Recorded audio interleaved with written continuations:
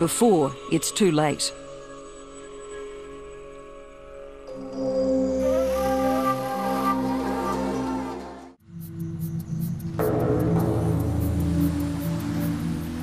Madagascar's isolation continued until around the birth of Christ,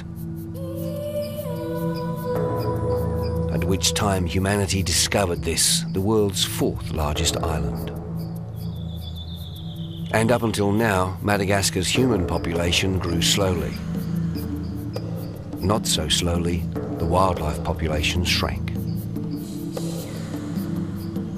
At least 15 species of lemurs have become extinct. That's one third of all known species, with another 36 species of lemurs teetering on the edge of extinction, including the critically endangered and incredibly shy golden bamboo lemur, the greater bamboo lemur, or the endangered black and white ruffed lemur. The Milne Edward sifaka, and the biggest lemur of them all, the Indri. Or the mysterious Ai. There's the comical ring-tailed lemur. And the famous dancing Verreaux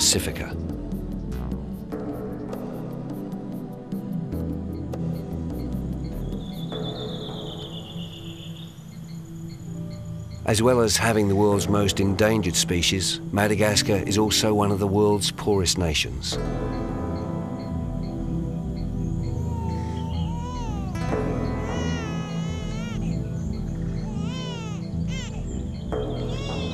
For many Malagasy people, it's slash and burn. To produce charcoal for cooking,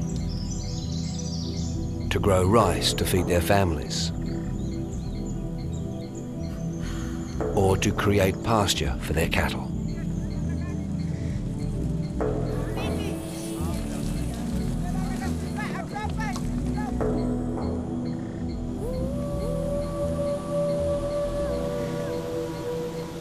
As it is, only 20% of primary rainforest remains. It could be said then that if they continue this way of life, life this way will cease to exist for them.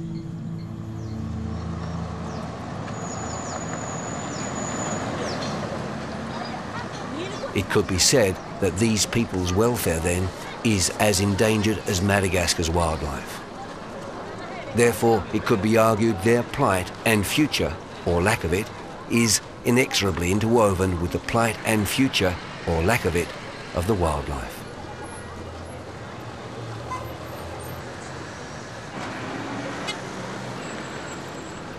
For the people to survive, so must their wildlife. For their wildlife to survive, so must the people.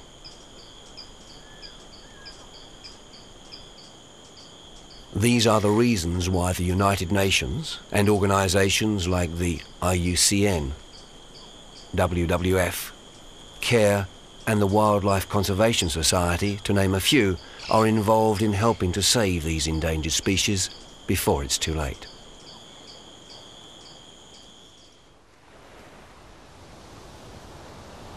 All of these organisations are involved one way or another with projects throughout Madagascar. One of the main projects is in the north of Madagascar, at a place which ironically had one of the first contacts with humanity, on an island called Nosy Bay, in the Baie d'Antongil.